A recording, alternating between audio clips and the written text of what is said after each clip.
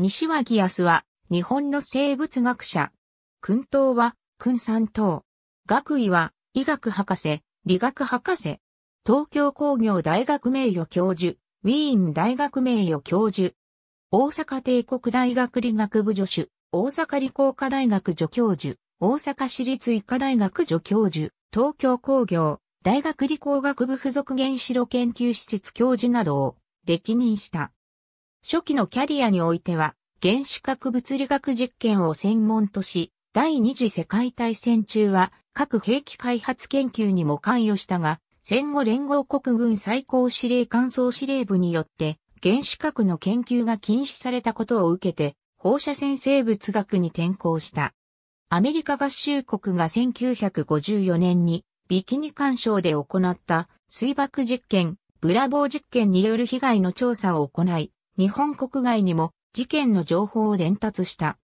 第五福竜丸から採取した放射性効果物の分析結果を西脇がジョセフ・ロートブラッドに伝えたことによって、ラッセル・アインシュタイン宣言やパグウォッシュ会議といった世界的な反核運動へと発展した。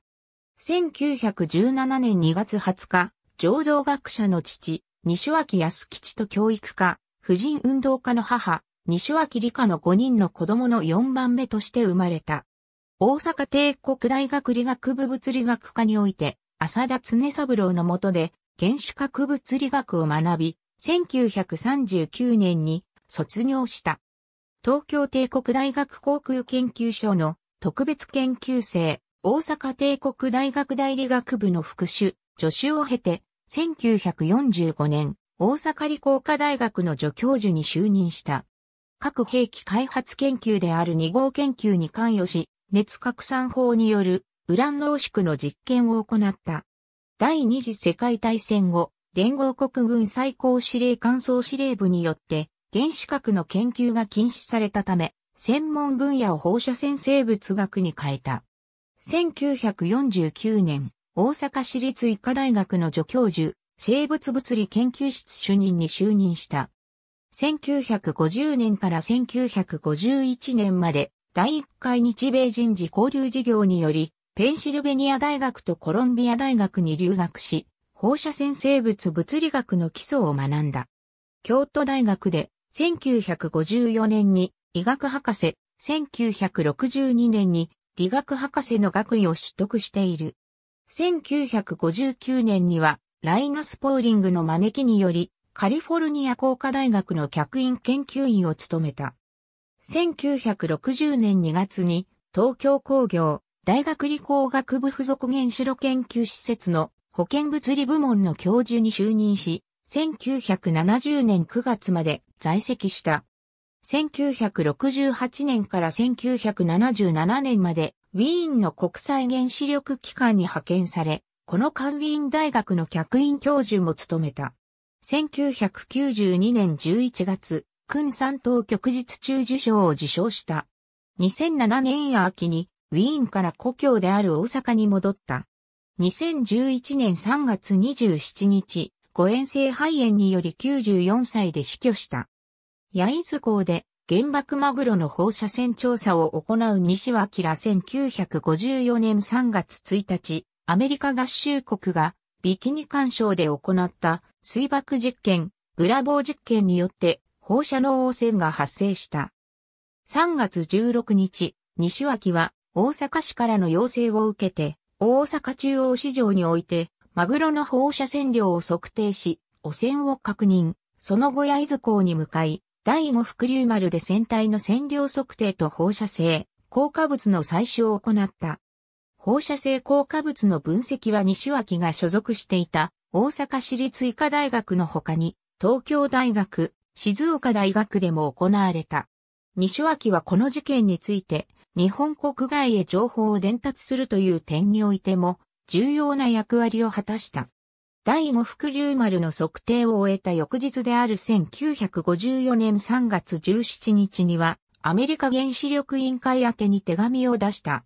その後、同年7月から11月にかけて欧州各国で講演を行い、10月に BBC ラジオで行った講演は世界に向けて発信された。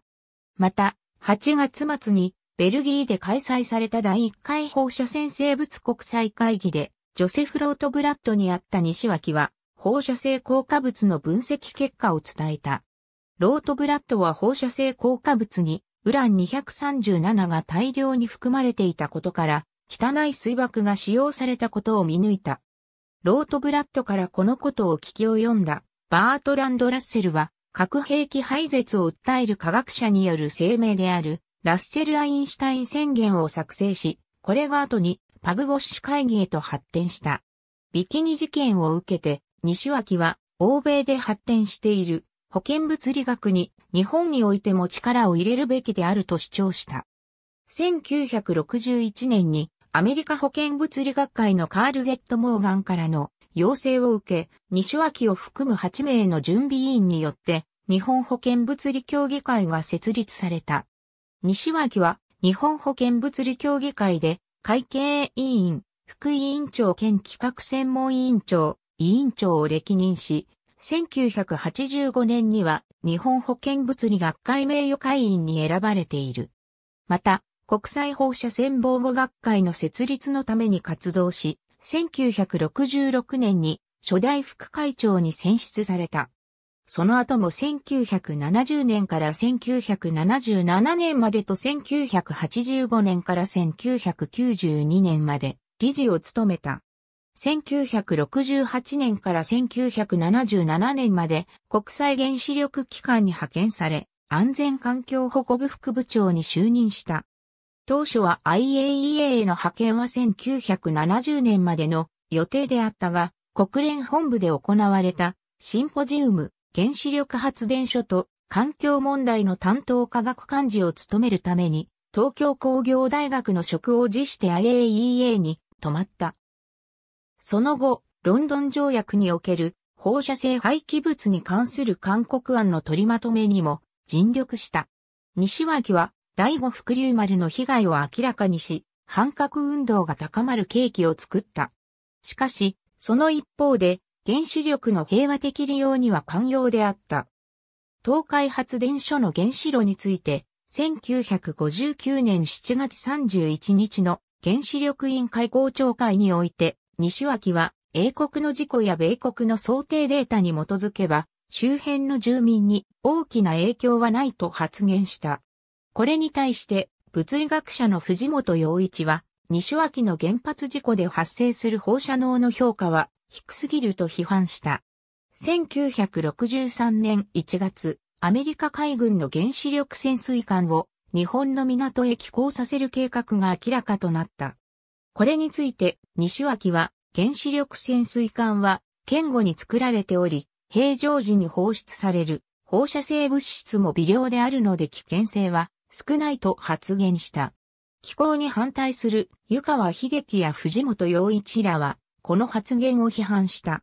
西脇は、近畿大学原子炉の設置を総長に進言、京都大学研究用原子炉の設置にあたり、住民の理解を得るための活動をするなど、原子力利用を推進した。ありがとうございます。